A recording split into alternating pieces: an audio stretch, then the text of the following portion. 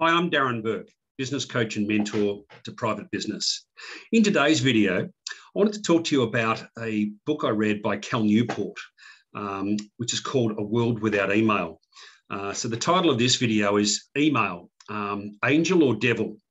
And so I just thought I'd work through some of the uh, pros and cons of email because I want you to think more deeply about how to use email and whether email is an angel or a devil in your working life and, and I guess even widely in your business. So let's start with the, the benefits or the pros uh, of email. Look, when email was, uh, I guess, introduced back in the uh, 90s, I guess, 80, late 80s, early 90s. Um, it replaced uh, traditional uh, postal mail, snail mail. Um, it also replaced the uh, inter-office memo, which was very slow and cumbersome. Um, and, you know, that was only sort of as fast as it was delivered by the mail room.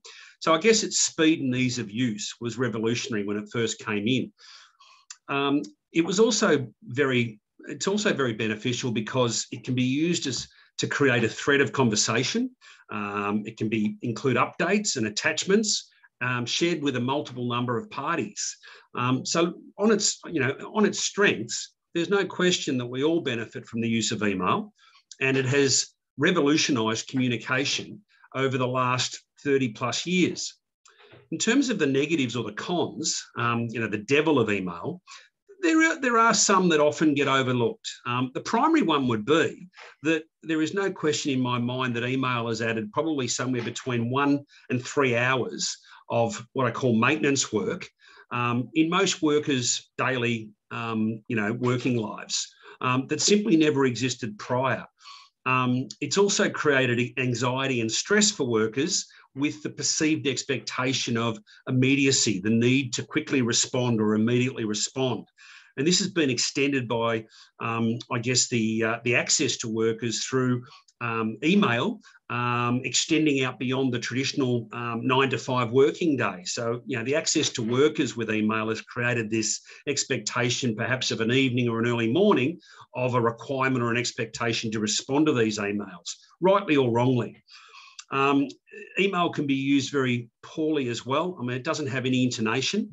So, you know, people writing in all caps um, or yelling in the written word, as we used to say, um, can cause conflict, um, as, as can CCing bosses or multiple parties as a, de- as a defence to making sure that people are on notice that there's a, an expectation through that CCing of multiple parties or certain parties um, that we're watching or waiting uh, for work to be delivered.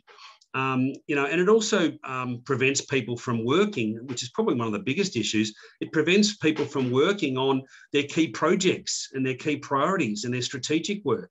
This inability to work on what Cal Newport describes as deep work, which I'll speak about in a later post, um, has been a real um, preventer or blocker of us getting our best work done, our most important work done. So, you know, when you've got one to three hours of um, theft of a working day of, of eight to 10 hours, it's a very significant block. And because of the, um, I guess, the constant and drip fed use of email, it's something that isn't necessarily measured in real time, but the incremental impact of that day in, day out in that, in that sort of one to three hour daily uh, maintenance block um, is a huge thief of time. So we do need to think about the negatives of that.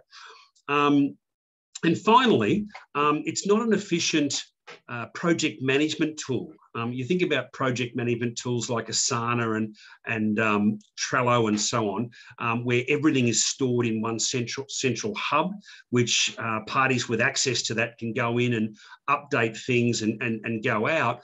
Um, they're very efficient in having one central storage unit of a status and, and of the status and all of the various attachments, reports, and material relating to that project.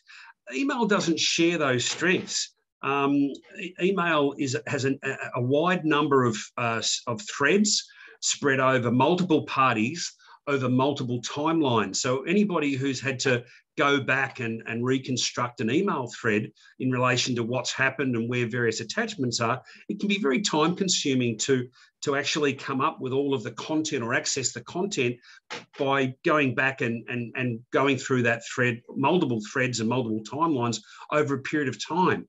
So it isn't a, a great um, project management tool. It's, it's best used when you're sending a, a specific email with a particular attachment or particular narrative or update in regard to one question or one particular communication, whether it be a meeting confirmation through Outlook or something like that. But it certainly isn't a strong management tool.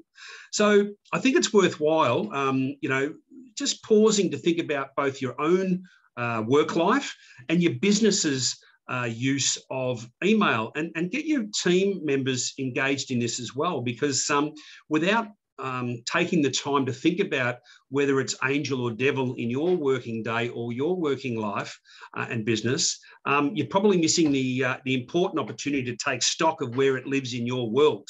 And I think uh, just, you know, please, um, you know, read Cal Newport's book, A World Without Email. It's really innovative and really, really challenging to make you think more, more, more strategically about how to use email in your working life and in your business.